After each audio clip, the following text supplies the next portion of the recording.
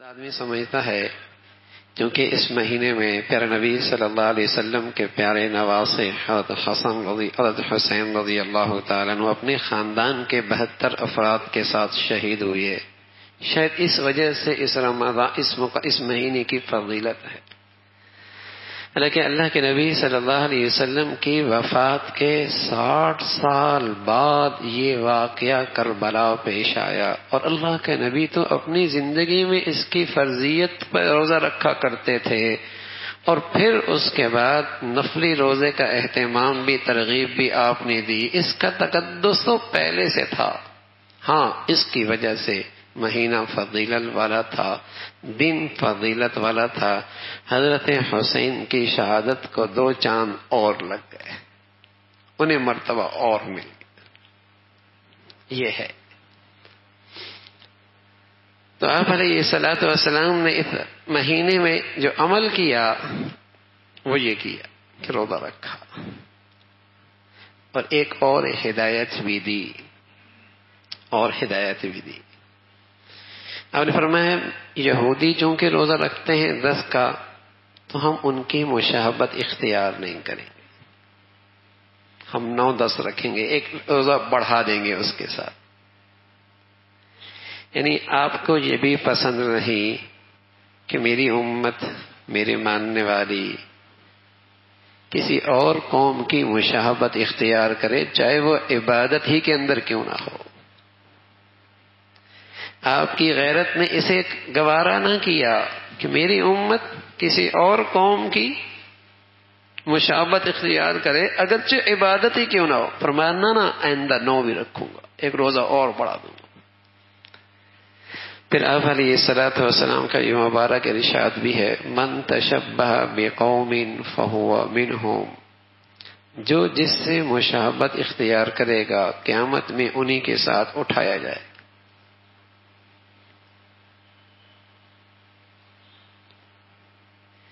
कोई आदमी लिबास इसलिए पहने कि मैं उन जैसा लगूं, या खाने का तरीका इसलिए इख्तियार करे ताकि मैं उन जैसा लगूं। मुशाहबत, जानबूझ के, इख्तियार के साथ ऐसा करना हराम है कि मैं उन जैसा लगूं। ये जो मुशाबत है कि इख्तियार के साथ, इरादे के साथ किसी गैर कौम की मुशाबत इख्तियार करना, ये जो मुशाबत इख्तियार की जाती है, इस मुशाबत से पहले उनकी अजमत दिल में आती है, उनकी मोहब्बत दिल में आती है, फिर उनका तरीका इसकी ज़िंदगी में आता है और ये दीनी गैरत के खिलाफ है। ये ईमानी इस्लामी गैरत के खिलाफ है। अल्लाह के नबी सल्लल्लाहु अलैहि वसल्लम तशरीफ़ फरमा है। हज उमर रज़ी अल्लाह में बैठे हैं और वो बकर रज़ी अल्लाह में बैठे तो हज उमर तौरात खोल कर देखने लगे। तो अल्लाह के नबी के चेहरा सुर हो गया।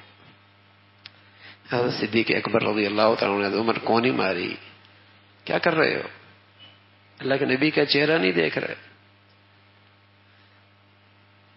तो फ़ौरन एहसास हुआ उमर रज़ी अल्लाह तु को, और फ़ौरन अल्लाह की वहदानियत का, अपने नबी की रिसालत का, और दीन इस्लाम की अजमत का इकरार, एतराफ़ किया।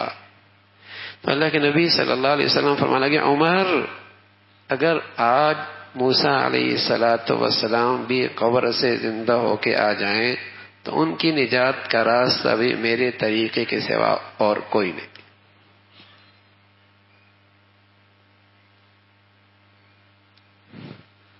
अपने जमाने के सिक्के थे।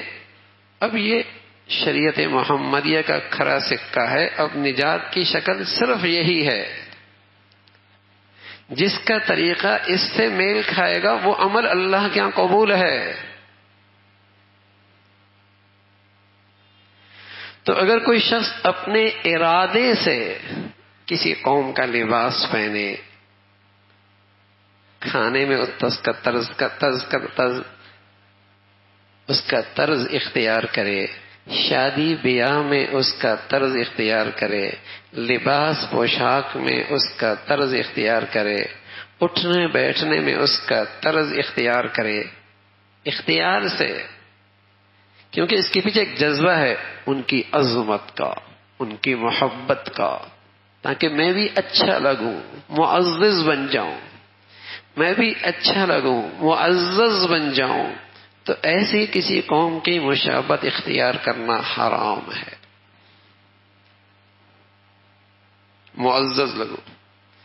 अच्छे खासे लिबास पहन रहा होता है, लेकिन जब शादी का मौका होता है और आने वालों का इस्तेकबाल करना होता है तो अब्बा क्या कहता है, बेटे, कैसा लिबास पहन, ये पहनो। यह लिबास पहनो। समझता है कि इसमें इज़्ज़त है। इसमें इज़्ज़त है। तो ये हराम है किसी कौम की मुशाहबत इख्तियार करना। इसलिए कि इसके भी जज्बा है उनकी अजमत का, उनकी मोहब्बत का, कि इसमें इज़्ज़त है। तो कहा मेरे और आपके प्यारे नबी सल्लल्लाहु अलैहि वसल्लम, जिन्हें तो इबादत में भी मुशाबत पसंद न थी और कहा आज नबी के मानने वाली उम्मत का हाल है कि शायद ही कोई ज़िंदगी का रास्ता और तरीका ऐसा रह गया हो जहाँ उनकी मुशाबत नहीं है। जहाँ उनकी मुशाबत नहीं और उनके तर्ज ज़िंदगी को पर फख्र नहीं किया जा रहा।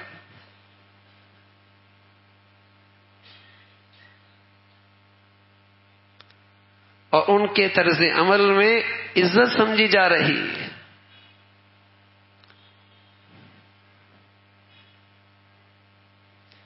तो यहाँ अल्लाह के नबी सल्लल्लाहु अलैहि वसल्लम के इरशाद में एक बहुत बड़ी हिदायत है मेरे और आपके लिए कि हम अपनी ज़िंदगी का जायजा लें।